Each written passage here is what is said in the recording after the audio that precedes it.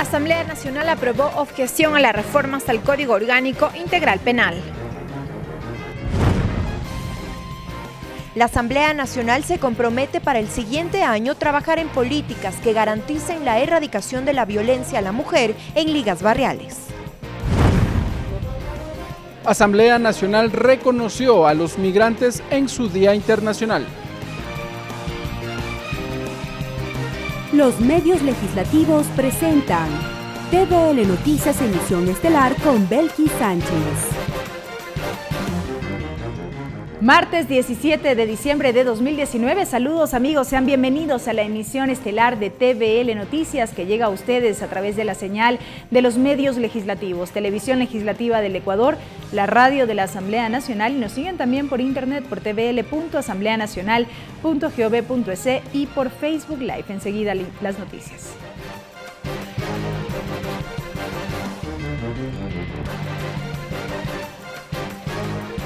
Iniciamos contándoles que este martes el Pleno de la Asamblea Nacional procesó la respuesta del Ejecutivo en torno a las observaciones formuladas al presupuesto general del Estado 2020, la programación cuatrianual 2020-2023 y el límite de endeudamiento público. Sin embargo, no hubo los votos necesarios para aprobar este documento. Tenemos más detalles de lo que fue esta jornada precisamente con nuestra compañera Tatiana Sonnenholzner. Adelante. ¿Qué tal, Belkis? Buenas noches, amigos televidentes que nos siguen a través de la televisión legislativa. Como lo has dicho, no hubo los votos para que se acojan a las 17 propuestas desde la Asamblea Nacional sobre esta proforma presupuestaria. Asambleísta, buenas noches, bienvenido a la televisión legislativa. Una vez con esta votación, ¿qué, contará el país? Eh, buenas noches.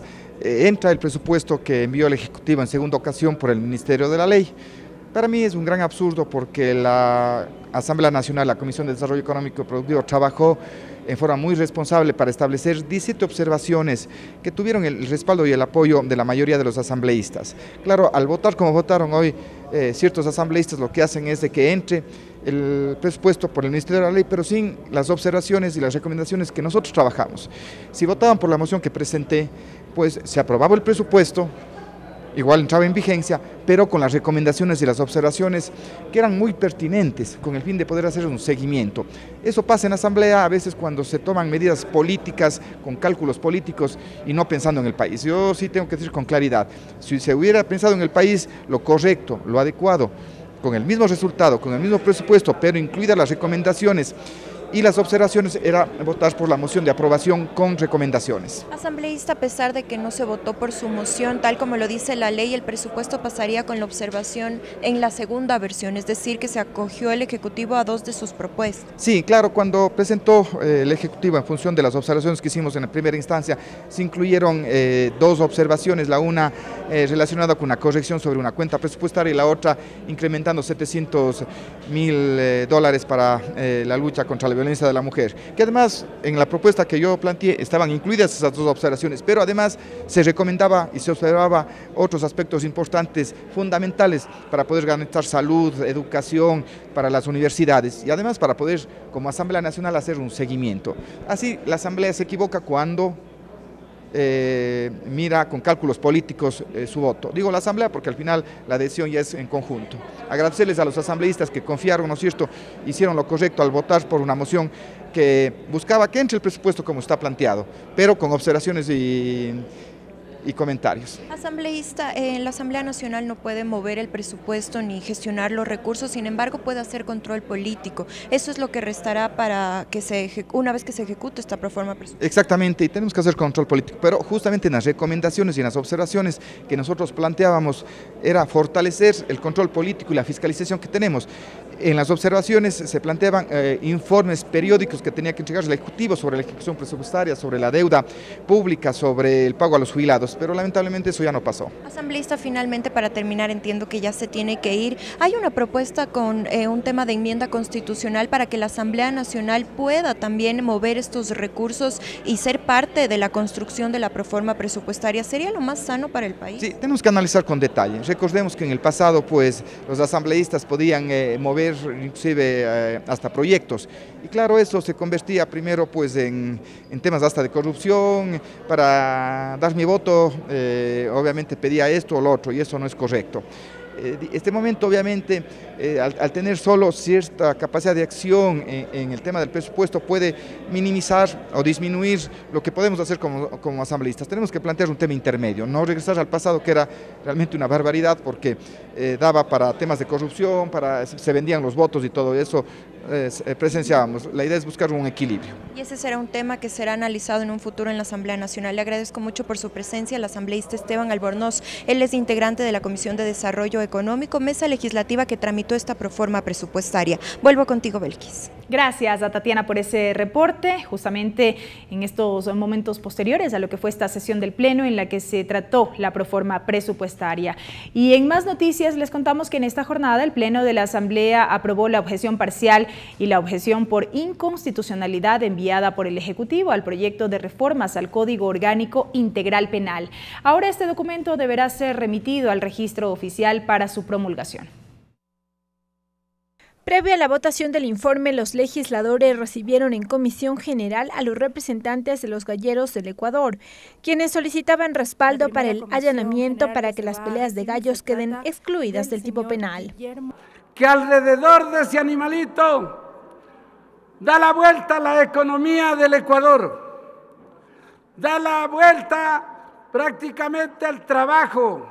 De que la gallística ecuatoriana es una industria. Detrás de la gallística hay trabajo para miles de ecuatorianos. Luego fue el turno de la ponente de las reformas, la asambleísta Jimena Peña. Allí explicó el dictamen de la Corte Constitucional sobre la objeción parcial por inconstitucionalidad y la propuesta de la Comisión para ratificarse en 24 artículos y allanarse en 12. En el artículo 117 sobre plan individualizado de cumplimiento de la pena, eh, también la comisión plantea el, ya, el allanamiento en el eje de prevención y sanción de la violencia contra niños, niñas y adolescentes y contra la mujer y la familia. Asimismo, la comisión plantea la ratificación en el artículo 30, en este artículo, porque nuestra redacción es mucho más completa. Ya en el debate, los legisladores cuestionaron la objeción parcial por inconstitucionalidad enviada por el Ejecutivo y respaldaron la pelea de gallos como conservación de las costumbres. Nosotros aprobamos desde la comisión y el Pleno el tema del comiso anticipado y el comiso sin sentencia, también denominado, lo hicimos basados en parámetros internacionales, con bases al derecho comparado, con consejos de organismos dedicados a la lucha contra la corrupción. Las peleas de gallo son una actividad ancestral de los pueblos a nivel del mundo, que nosotros o nuestros antepasados han realizado durante varias décadas. Ahora el documento deberá ser remitido al registro oficial para su publicación y puesta en vigencia. Lorena Espinosa, TVL Noticias. La votación por la moción de archivo de la objeción por inconstitucionalidad al proyecto de ley de registro ecuatoriano de violadores, abusadores y agresores sexuales de niños, niñas y adolescentes quedó pendiente en el Pleno de la Asamblea Nacional. El debate se llevó a cabo este lunes. Como ponente me toca a mí mocionar el archivo. No lo voy a hacer, señor presidente. Me acojo al artículo 98 de la Constitución y me declaro en resistencia. Esta asamblea no tiene por qué aprobar ese archivo el día de hoy. Así sea como una expresión de rechazo político. Inconformes. Así se mostraron los legisladores cuando tenían que votar por el archivo del proyecto de ley de registro ecuatoriano de violadores, abusadores y agresores sexuales.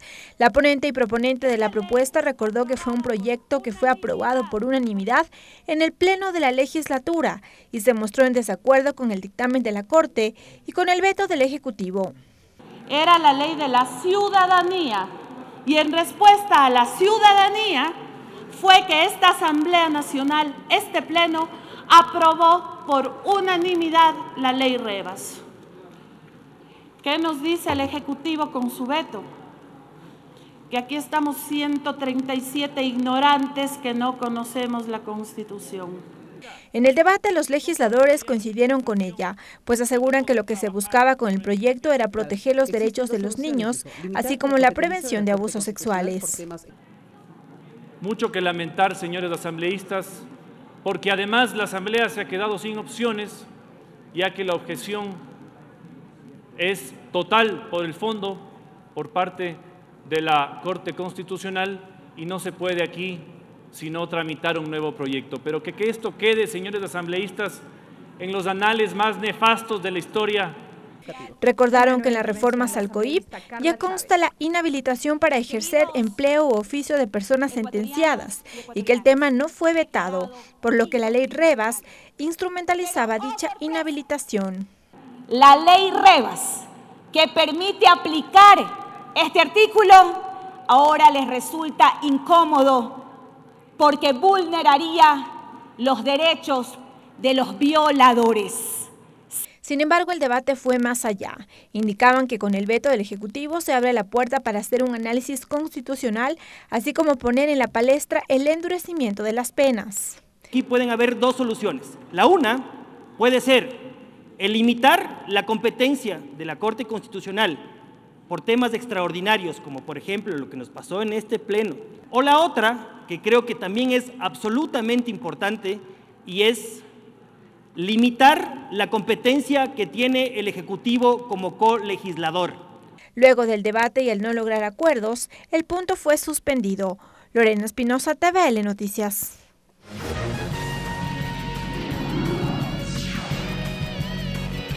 Entrevista.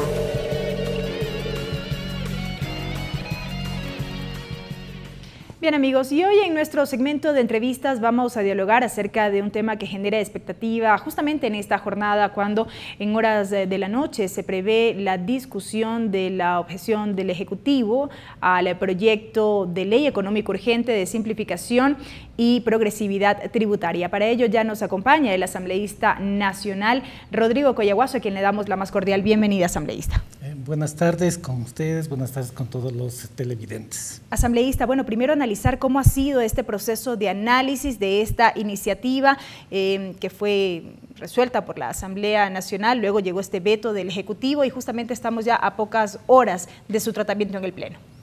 Mire, primero creo que hay que resaltar que con respecto a este proyecto de ley urgente de simplicidad y, progresividad tributaria, se ha logrado tener eh, en la comisión un amplio consenso con respecto a los artículos que se tenían que aprobar. De igual forma, se procedió a un segundo momento el hecho de llegar a un consenso con todos los jefes de bloque. Pero esto no quedó ahí, sino que este diálogo que se tuvo interno a nivel de la Asamblea Nacional, se logró también tener un diálogo con el Ejecutivo. Y por lo tanto, pues este trabajo que se ha dado entre la Asamblea internamente y el Ejecutivo ha generado en que se dé un proyecto de ley eh, eh, consensuado. Es por esto que tuvo un gran respaldo y inicialmente eh, iba a haber más de 100 votos. Lamentablemente por algún artículo que entró a última hora, eso no se pudo dar, pero sin embargo se logró ya tener eh, los votos necesarios para que sea aprobada la ley de, en este caso la ley tributaria, para simplificar las cosas. y, por ¿Y por qué razón? En esto tuvimos una gran participación, por ejemplo, de los compañeros y compañeras del sector agrario, que están vinculados sobre todo con respecto a los créditos que tienen con Ban Ecuador.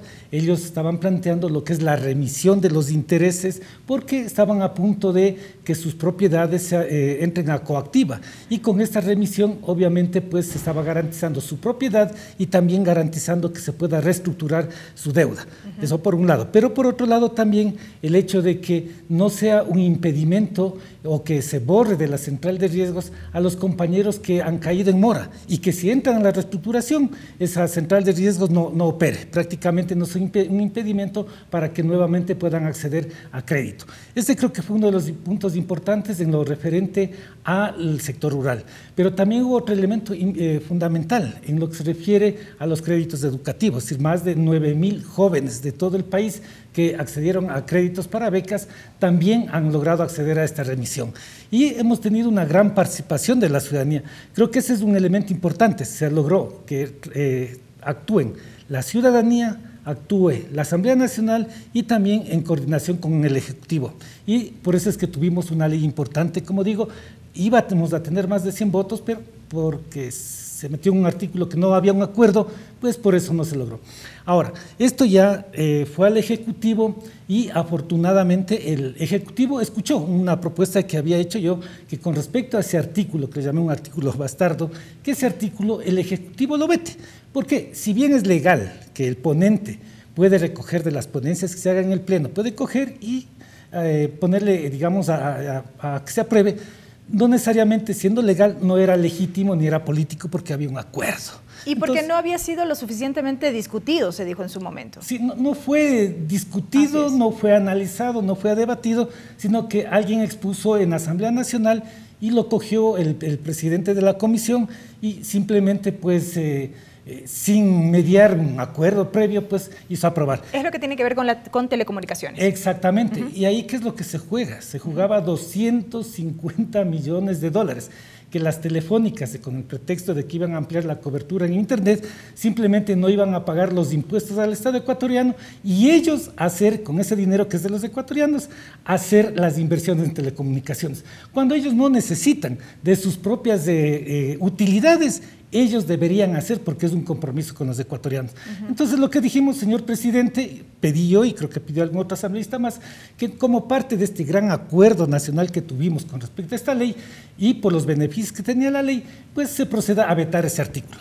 Afortunadamente el Ejecutivo, en base a ese diálogo que se ha tenido, ha vetado ese artículo. Entonces creemos que eh, corrigiendo algunos otros artículos más que justamente estamos conversando, de pronto ya podemos tener en esta noche una nueva ley que pueda ayudar, por un lado, a, beneficiando a los, ecuatorianos, como digo, los jóvenes, estudiantes, los campesinos, también aquellos que han hecho crédito con, con la Corporación Financiera Nacional. En el caso del Banco Nacional de Fomento va hasta 100 mil dólares y en el caso de la Corporación Financiera Nacional, aquellos deudores que han ido hasta 400 mil dólares. Entonces, esperamos ahora que esta unidad que se ha dado entre la ciudadanía, el, Ejecutivo y el Legislativo en tener esta nueva ley, pues esto puede beneficiar a todos y podamos, digamos, terminar un año con tranquilidad y poder trabajar para el próximo que viene. Y recalcar, eh, adicional a esto, asambleísta, que en lo que tiene que ver con este artículo relativo a las telecomunicaciones, la Comisión de Desarrollo Económico, o de Régimen Económico, perdón, en su informe, recomienda justamente allanarse a esta observación presidencial, con lo cual ya quedaría sin efecto y no se aplicaría en cuanto se apruebe esta norma. Eh, mire, justamente una de las cosas que debe prevalecer en la política es la transparencia. Y la transparencia tiene que, eh, tiene que eh, ser una columna vertebral lo que es la confianza política. Nosotros no podíamos en, un minuto, cuando ya socializan a todos lo que ya el ponente está haciendo, no podemos estar leyendo los 50 artículos, porque yo me dedico a leer de pronto lo que es, el, lo que es del Ban Ecuador o de, de los estudiantes, pero no todo. Entonces, como ahí hubo una, yo sí digo, hubo una trampa, que afortunadamente esa trampa eh, la descubrimos eh, a tiempo, pero ya no podíamos como más parar. Pero como digo, hay que reconocer que el Ejecutivo, recogiendo ese clamor que se ha hecho desde la Asamblea, en que debe existir la confianza política y por lo tanto la transparencia y que la política se una a la ética, pues creo que ahora se, hay ese, ese margen de que podamos allanarnos al veto del Ejecutivo, porque el Ejecutivo dice, ese artículo tiene que quedar afuera. Y por lo tanto, como queda afuera, en ese punto nosotros estaríamos allanándonos. En lo que sí la comisión ha sugerido insistir en el texto inicialmente aprobado, asambleísta, tiene que ver con eh, lo relativo a paquetería, lo que tiene que ver con el Servicio Nacional de Aduanas. Mire, con respecto al servicio, eh, con respecto a todo lo que es el Servicio Nacional de Aduanas, lo que decimos nosotros sí, hay que mantenernos, hay que mantenernos y en este sentido porque lo que se trata es de, por un lado, beneficiar y satisfacer, digamos, al ciudadano en, general como tal, pero también con esto fortalecer a la institución. Entonces creo que es, en ese aspecto también justamente son los, los diálogos que estamos haciendo hasta ahora y esperamos que lleguemos a un feliz término. Creo que el día de hoy vamos a tener una nueva ley, creo que vamos a tener una nueva ley, eh, eh, como digo, en beneficio de todos los ecuatorianos. En términos ya eh, igual generales, asambleísta Coyahuaso, ¿en qué medida eh, beneficia justamente este proyecto de ley? Pregunto esto porque de manera recurrente determinados sectores insisten en que eh, el país ya no necesita medidas parche. Es cierto que atravesamos una situación económica compleja, si se quiere, que se necesita adoptar medidas en materia tributaria para poder cubrir un poco el déficit fiscal. Sin embargo, se reitera en esto, que no se recurra a estas medidas medidas parches, sino que ya eh, podamos contar con una política integral eh, económica para el país que permita justamente sostener la economía de la nación. Correcto, o sea, lo que sí queda claro es que estamos dando un paso y que lo que aquello que se ha querido beneficiar a determinados grupos eh, pequeños, pero que son poderosos económicamente, lo hemos hecho a un lado. Eh, y por esto es que decimos, tenemos esta ley y recurramos ya a no solamente a hacer medidas parche, sino que recurramos a ver el modelo económico. Por ejemplo, solo, eh, dos propuestas que, que, yo he planteado. La primera, a nivel en los paraísos fiscales hay 35 mil millones de dólares, que ha salido fruto del esfuerzo de los ecuatorianos, que ha salido de aquí de trabajo de los ecuatorianos y que se encuentra en paraísos fiscales. Entonces lo que hemos dicho, ¿por qué no hacemos, se hace un sacrificio, entre comillas, un sacrificio pequeño de poner un 10% a ese dinero que está ahí? Solamente con esa medida nosotros tendríamos 3.500 millones de dólares para arrancar. Y en este caso, con esto no se les deja pobres a los banqueros, no se les deja pobres a esos grandes especuladores, nada. Entonces lo que hacen es contribuir eh, para, el, desarrollo del país. Y hay otros 35 mil millones de dólares en otros países. No, no, no son eh, paraísos fiscales. Entonces, no le pongamos el 10, pongámosles eh, el eh, un 5%. Entonces, con eso lo que estamos teniendo es más de 1.500 millones de dólares. Más los 3.500 estamos hablando de tener solamente con esas dos medidas más de 5.000 millones de dólares. Entonces, hay salidas y con eso nos va a permitir que podamos nosotros elaborar toda una hoja de ruta para el desarrollo. Además, hemos dicho, que cómo es posible, que por qué razón aquí, cómo se puede apoyar a los emprendedores. Hemos hablado siempre de los emprendedores. Yo siempre he dicho que hay que apoyar a la industria, hay que apoyar a la empresa, a la que produce, a la que da trabajo, a la que genera utilidades y a la que en este caso también eh, paga impuestos. ¿Qué es lo que debemos hacer? Lo que debemos hacer es que el sector bancario baje sus intereses. ¿Por qué razón? O sea, usted en Estados Unidos, en Europa, lo que tiene el interés es al 3, al 4% y en algunos casos tiene al 1%. Y aquí tenemos tasas de interés del 15, del 20, del 25 hasta del 30%. Entonces decimos, a ver, el sector privado también debe contribuir al desarrollo de los ecuatorianos. Y en este marco también la banca pública. La banca pública hemos dicho, sí, estamos, están, se está recibiendo determinados eh, rubros eh, a un interés del 11%, entonces bajemos un 2%, o en otros casos al 9%, bajemos al 2%, pero no solamente, por ejemplo, hagamos para que se siembre arroz, sino para que se dé el valor agregado al arroz. O no solamente demos para que se siembre la palma africana, sino que creemos, vayamos creando industria, empresa para elaborar esa palma africana y que salga el jabón, que salga el aceite.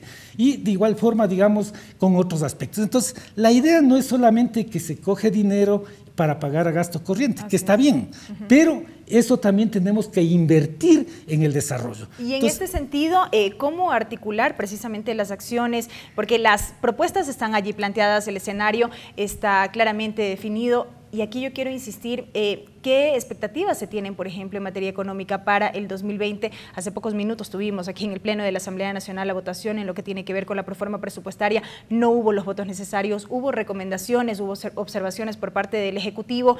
Eh, ¿Qué expectativas se tiene? Bueno, eh, con respecto a lo que se viene el, próximo año y también el, digamos, el 2020 y el 2021, porque el presupuesto que estamos aprobando para el 2020 es el mismo presupuesto que va a ser para el 2021. Por ser año electoral. por ser año electoral. ¿Qué significa eso? Que en términos de, de valor adquisitivo para el 2021 va a ser menos, porque si usted ahora con un dólar compra cinco panes, luego en el 2021 comprará cuatro panes, es decir, siempre va a haber ese valor adquisitivo menos. Entonces vamos a tener un presupuesto menor, llamemos así, aunque el número sea el mismo. Entonces, lo que, eh, ¿qué es lo que estamos viendo? Hay una crisis económica, que ahí se dice que eh, no hay dinero, yo estoy demostrando que sí hay de dónde sacar dinero para poder avanzar, pero se dice que no hay. Entonces, lo que hicimos, procedamos en este caso a que aquellos que han hecho fruto de la riqueza de los ecuatorianos, no les estamos queriendo dejar sin plata. O sea, eso mucho ojo, no le estamos queriendo. Pero contribuyan para los ecuatorianos. Entonces, con esos dineros, que, eh, con lo que está planteando para el próximo año. Por ejemplo, voy a poner un ejemplo. En el caso del, eh, Ministerio de Agricultura y Ganadería, eh, en este año que estamos terminando, el presupuesto era de 99 millones. Y para el 2020 se baja a 87 millones, es decir, menos 12 millones de dólares. ¿Cuánto es lo que planteaba el Ministerio de, Ministerio de Agricultura y Ganadería? eso consta los datos del Ministerio de Finanzas, pedía 212 millones para medio, medio salir. Pero si no se le da los 212 millones y apenas se les da el, 87 millones, prácticamente en el sector rural vamos a tener problemas. Entonces, en este sentido, hay que ser creativos, digo yo, hay que ser creativos tanto por un lado del Estado, por otro lado también del consumidor y por otro lado por el campesino. Porque aquí el problema agrario a veces piensan que es de los campesinos, cuando esta sí tiene unas tres patitas, que es el Estado, que es la sociedad y que es en este caso también el agricultor. Entonces ahí vamos a tener dificultades. De igual forma, hicimos un plan nacional de riego, eso hicimos el lanzamiento con el señor presidente de la República en Cotopaxi, frente a 10 mil compañeros y compañeras. Ese plan que se plantea realizar eh, riego parcelario, riego tecnificado, que se, plantea hacer este, eh, los, conductores de primer y segundo orden, si ya no tenemos dinero, simplemente no se va a hacer. Y por lo tanto, no vamos a poder este, hacerle más, eficiente la, agricultura, no se va a poder incrementar la producción. Entonces, yo creo que hay que hacer entre todos un esfuerzo, pero le decimos, no puede ser solamente el esfuerzo del lado campesino, no puede ser el, esfuerzo solamente del lado trabajador, sino de aquellos que, en base al sudor del campesino, en base al sudor del, del trabajador, ahora tienen ingentes cantidades de dinero. Entonces decimos, vean, vengan y contribuyan no se quedan pobres, no van eh, a, estar llorando, no, para nada, apenas están contribuyendo y con eso mismo se está generando más trabajo para que puedan ganar más. Entonces, eso es lo que estamos viendo, va a ser un año duro, yo en eso sí tengo que ser claro, va a ser un año duro, creo que debemos hacer el esfuerzo, si es que hay más leyes para que podamos, eh, en este caso, eh, cubrir el déficit, lo que debe salir de los que más tienen. Si usted ha visto durante estos últimos más de 10 años, la banca nunca perdió, eh, los empresarios nunca perdieron. Entonces, si no perdieron, obviamente sí tienen que contribuir al, momento que estamos pasando como ecuatorianos. Correcto, asambleísta Coyeguazo. Gracias por habernos acompañado en este espacio. Yo también le agradezco. Han sido los planteamientos precisamente del asambleísta nacional Rodrigo Coyeguazo aquí en nuestro segmento de entrevistas a propósito de los temas que van marcando la coyuntura en la Asamblea Nacional.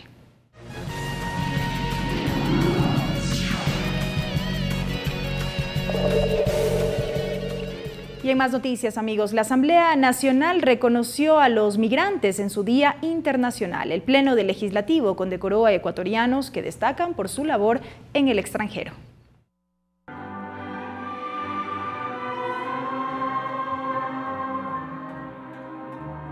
Al ritmo de la Orquesta Joven del Ecuador, el Pleno de la Asamblea Nacional reconoció a los migrantes en su Día Internacional que según la Organización de las Naciones Unidas se conmemora cada 18 de diciembre.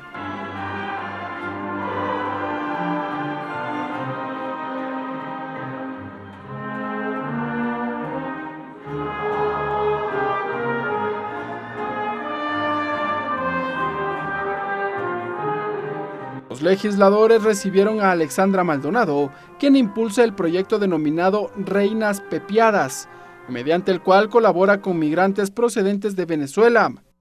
Hasta enero de este año hicimos 23 cenas de las reinas pepeadas, que es la arepa famosa de pollo, aguacate y queso, muy rica.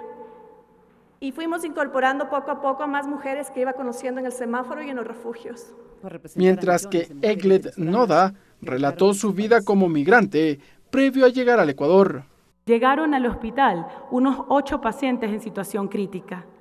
Me acerqué con mucho cuidado, les hablé, les atendí con mi equipo de trabajo y fue impresionante ver cómo esos pacientes daban gracias a Dios y decían, la doctora es de Caracas, qué suerte tenemos. En ese momento me di cuenta que ellos también eran venezolanos.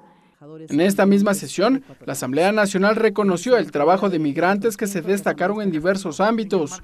Previamente, el titular del Parlamento, César Litardo, dialogó con ellos y conoció algunas de sus inquietudes. Hay varios temas legales que se están haciendo, eh, el tema de la ley de movilidad, eliminar ese, ese, famoso 4x4 que nos permite tal vez llegar con los, con los eh, diferentes... Eh, apoyos o envíos que se hacen a los familiares. Según cifras de la ONU, a la fecha, más de 270 millones de personas han migrado en todo el mundo. Ricardo Bravo, TVL Noticias. Y de manera unánime, la Asamblea Nacional aprobó una resolución mediante la cual reconoce al Club Deportivo Delfín por lograr el campeonato de fútbol ecuatoriano de la Serie A. Asimismo, en una próxima sesión se reconocerá el desempeño deportivo de la Liga Universitaria de Puerto Viejo y de Lorense Sporting Club. Esta iniciativa fue de los asambleístas Carlos Berman y Franco Romero. Creo que con justo merecimiento ya planteamos que esta Asamblea Nacional le entregue un reconocimiento y condecoración al pabellón tanto del Delfín Club como el primer campeón de la Liga Pro Profesional del fútbol ecuatoriano y del Club Liga Deportiva Universitaria de Puerto Hijo que logró también el vicecampeonato y por el ascenso a la serie de privilegio. Vamos a premiar al equipo que quedó en segundo lugar en la serie B deberíamos también premiar y condecorar al club y al equipo de Orense Sporting Club, al equipo machaleño que ganó el campeonato de la Serie B y que como tal ascendió a primera. Tiempo de una pausa amigos, al volver más noticias en esta, la emisión estelar de TVL Noticias. No se vayan. Regresamos con TVL Noticias, emisión estelar, luego de la siguiente pausa promocional. Continuamos con TVL Noticias, emisión estelar. Avanzamos con más información, amigos. Les contamos que los informes para primer debate de los tres proyectos de enmiendas a la Constitución que cuentan con dictamen de la Corte Constitucional entrarán a debate en el Pleno del Parlamento este miércoles 18 de noviembre. La sesión está convocada para las 9 de la mañana. Se trata de las iniciativas que determinan nuevos requisitos para la elección de Contralor y Fiscal, y mejoran la renta para los gobiernos provinciales. Además, devuelven la atribución de designar autoridades de control al legislativo, que ahora la tienen el Consejo de Participación Ciudadana y Control Social. El asambleísta del movimiento Creo, Homero Castanier, revela cómo actuará su bloque legislativo durante el debate del proyecto de enmiendas constitucionales. La posición de nuestra representante en esa comisión, eh, Janine Cruz, ha sido clara frente al apoyo de estas enmiendas. El informe del proyecto de enmiendas, a través del cual se plantea trasladar la competencia de designación de autoridades de control a la Asamblea Nacional, lo aprobó la Comisión Ocasional de Enmiendas el pasado 29 de noviembre, con cinco votos de los seis presentes. Según la propuesta, el Parlamento sería el encargado de designar a las autoridades de control. El asambleísta Fabricio Villamar es partidario de eliminar el Consejo de Participación Ciudadana y Control Social. Por eso fue tan criticado el Consejo de Participación, por ser de alguna manera una especie de departamento de personal de lo que quería el presidente de la República en esas épocas. Mientras que el bloque legislativo de la Revolución Ciudadana tiene otro criterio, explica el legislador Juan Lloret. Para eso se tiene que ir a una Asamblea Nacional Constituyente, eso dice la Constitución, no lo decimos nosotros. Por lo tanto, lo que están haciendo por parte de algunos eh, grupos y sectores políticos no es acorde a lo que está determinado en nuestro ordenamiento jurídico. Otro aspecto del proyecto de enmiendas constitucionales propone consolidar los presupuestos para los gobiernos provinciales en favor de la vialidad rural. Modifica el artículo 272 de la Constitución que tiene relación a la distribución de recursos entre los gobiernos autónomos descentralizados. Ricardo Bravo, TVL Noticias. El informe de los hechos relacionados con el paro nacional del 2 al 13 de octubre de este año se conocerá también en el Pleno de la Asamblea este miércoles a las 15 horas. El documento fue elaborado por la Comisión Ocasional que se conformó para ese objetivo. El informe de la Comisión Ocasional Multipartidista tiene 10 conclusiones y 9 recomendaciones. Ahí se detalla lo sucedido durante la jornada de movilizaciones del 2 al 13 de octubre de este año. La mesa ocasional concluye que la expedición del decreto ejecutivo 883 del 2 de octubre pasado sobre los subsidios de combustibles fue el principal detonante de la protesta social. Según los comisionados, durante la jornada varios derechos fueron vulnerados como la vida, salud, trabajo, libre movilidad y libertad de expresión. Asimismo, considera que se debe condenar los ataques a los medios de comunicación y periodistas. Por otra parte, reprueba la actitud del Centro de Inteligencia Estratégica, que no asistió a la comisión y no proporcionó información aduciendo el carácter de reservado. Este documento será puesto a consideración del Pleno de la Asamblea Nacional este miércoles a partir de las 15 horas. Ricardo Bravo, TVL Noticias. En tanto, este jueves a las 10 de la mañana, el Pleno del Parlamento conocerá el informe de la objeción parcial del Ejecutivo al proyecto de ley orgánica de atención en casos de personas desaparecidas y extraviadas. Cumpliendo con el procedimiento reglamentario, los asambleístas aprobaron el informe sobre la objeción parcial del Ejecutivo al proyecto de ley de atención en casos de personas desaparecidas y extraviadas. Los comisionados decidieron allanarse en la mayoría de artículos de la propuesta del presidente. El titular de la comisión ocasional, Absalón Campoverde, explica la razón.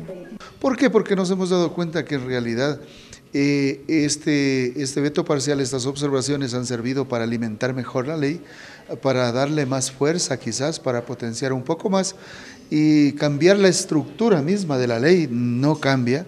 Además, recordó que este proyecto de ley pretende ser una herramienta para que las instituciones del Estado mejoren su actuación a la hora de localizar a una persona desaparecida. Y esto será esta ley a futuro para que eh, quienes lamentablemente les toque vivir esto, eh, tengan una ley con que ampararse. Eh, ya empieza desde la publicación de esta ley la capacitación a todos los funcionarios de las instituciones públicas que tienen que ver con desaparecidos. Uno de los temas más relevantes que la comisión acogió fue la propuesta del Ejecutivo sobre la conformación del Sistema Nacional de Búsqueda. Este estaría conformado por un órgano de gobierno, otro ejecutor y otro de entidades operativas, reemplazando las 17 instituciones planteadas por la comisión. Eh, pone la, Fiscalía, el Ministerio de Gobierno, eh, habla de la Secretaría de Derechos Humanos y un representante del sector social. En el segundo nivel le pone al Ministerio de Gobierno, que será el, órgano que maneje el sistema, eh, lo que nosotros habíamos planteado. En el tercer, en el tercer nivel nos habla de la unidad especializada de la policía, la, comisión se allanó a la propuesta del Ejecutivo y a las más de 40 objeciones enviadas. Para este jueves a las 10 de la mañana está convocada la sesión plenaria para tramitar este proyecto de ley. Tatiana Sonnenholzner, TVL Noticias. Y en otros temas les contamos que ONU Mujeres presentó a la Asamblea Nacional un informe con la aproximación de la participación y presencia de las mujeres en el fútbol de Ecuador, Argentina y Brasil. Esto ante el presidente de la Asamblea Nacional. El documento constituye un instrumento para la creación de políticas y futuras normativas. El 25 de noviembre es el Día Mundial contra la Violencia a la Mujer, el 7 de marzo el Día del Fútbol Femenino y el año pasado la Asamblea aprobó la Ley Orgánica para la Prevención y Erradicación de la Violencia a la Mujer, además del proyecto de reformas al Código de la Democracia, donde se plantea paridad progresiva. A pesar de estos esfuerzos para la igualdad de género, todavía hay brechas que romper, razón por la que el presidente del Grupo Parlamentario por el Deporte, Sebastián Palacios, organizó este evento. Que nosotros logremos atacar a esa problemática, que lleguemos a las ligas barriales, que lleguemos a los equipos de fútbol, incluso a centros de formadores, de entrenadores, para que los sensibilicemos, los capacitemos en temas de género y sobre todo les hagamos conocer de la ley que existe, de la ley para prevenir y erradicar la violencia contra la mujer. Con la participación de ONU Mujeres, del Consejo Nacional para la Igualdad de Género y el presidente del Parlamento, se conoció de un estudio sobre la participación de las mujeres en el fútbol de Ecuador, Brasil y Argentina. Viviana Aidó de ONU Mujeres explicó las cifras. Vemos que el 22% de las mujeres consideran que las canchas son el espacio más inseguro para las mujeres. Por tanto, no las utilizan. ¿Y esto a qué se debe? ¿Poca iniciativa femenina o escasos lugares de participación? Paola Mera, secretaria técnica del Consejo de Igualdad de Género, lo contesta. En donde siempre y constantemente te están diciendo que no perteneces en ese lugar. Hay muchos espacios y hay un montón de deportistas que ya lo han logrado, pero creo que estos son ejemplos para que eh, más mujeres puedan ver que las mujeres pertenecemos en todos los espacios. Al evento acudió el presidente del Parlamento, con buenas noticias para el deporte femenino, pues con el apoyo de estas instituciones, la Asamblea Nacional trabajará en 2020 en políticas que erradiquen la violencia a las mujeres en ligas barriales. Una idea mucho más macro que estamos trabajando y que de hecho ya ha tenido eh, dos conversaciones con el presidente de la Liga Pro, Miguel Ángel Or, y con los directivos de Gol TV, es que el próximo año la Liga Pro del Ecuador denomine el campeonato del 2020 el Campeonato de la Paz. El evento fue amenizado por el grupo de fútbol de freestyle de Colombia. Sus destrezas fueron contagiadas al presidente de la Asamblea Nacional, que cerró este evento con cascaritas.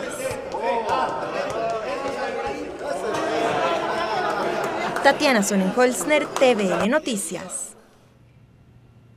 El asambleísta Juan Cárdenas presentó el alcance de su proyecto de ley de protección de audiencias de los medios de comunicación. Según el asambleísta, esta propuesta busca regular la relación de los medios de comunicación con las audiencias, además de determinar responsabilidades mediante la creación de las defensorías de audiencias, mismas que serán las encargadas de receptar las denuncias ciudadanas cuando exista vulneración de derechos vinculados a la comunicación.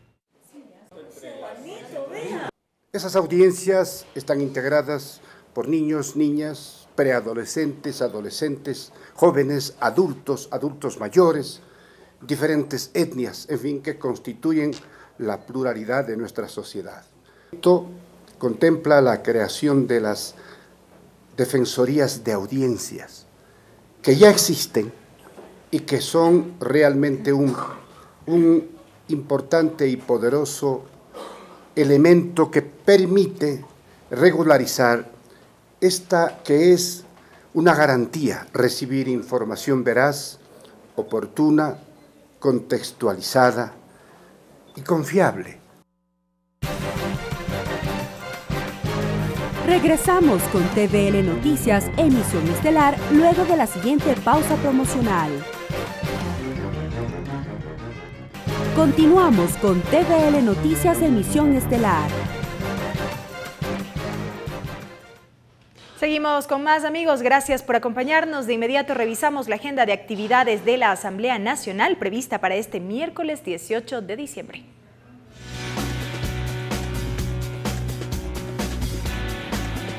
Agenda de actividades. Siete horas con 45 minutos, sesión de la Comisión Corrección, 7 de la mañana, sesión de la Comisión de Biodiversidad. Recibe a Jorge Yunda, alcalde del Distrito Metropolitano de Quito, para que informe sobre las acciones que el municipio de Quito ha realizado para evitar las descargas de líquidos y aguas residuales en los ríos San Pedro, Machángara y Guayabamba, que se concentran en la represa hidroeléctrica Manduriacu y afectan a la población de Esmeralda. Será en el séptimo piso Palacio Legislativo.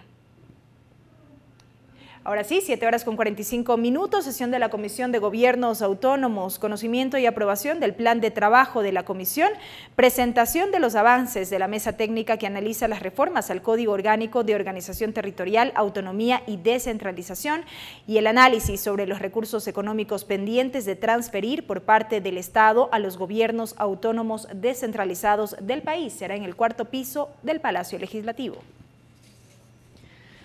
8 horas con 30 minutos, el Grupo Parlamentario por los Derechos de las Personas en Movilidad Humana y la Secretaría de Derechos Humanos invitan al foro Migración y Desarrollo Agenda 2030. Será en el Salón José Mejía Lequerica, en la planta baja del Palacio Legislativo. 9 de la mañana, sesión 644 del Pleno de la Asamblea Nacional. Arrancará con la entonación del himno nacional de la República del Ecuador. Tendrá lugar el primer debate de la enmienda constitucional que cuenta con dictamen de procedimiento de la Corte Constitucional y asimismo otras dos propuestas de enmienda constitucional que de igual forma cuentan con el dictamen de procedimiento de la Corte Constitucional. A las 15 horas, en tanto, sesión 645 del Pleno de la Asamblea Nacional. Arrancará asimismo con el himno nacional de la República del Ecuador y el Pleno del Parlamento analizará y debatirá el informe remitido por la Comisión Ocasional Multipartidista para investigar los hechos relacionados con el paro nacional ocurrido entre el 2 y el 13 de octubre del presente año. Hasta aquí esta emisión de noticias, amigos. Gracias por haber estado con nosotros. Tengan ustedes una muy buena noche. Los medios legislativos presentaron TVL Noticias, emisión estelar.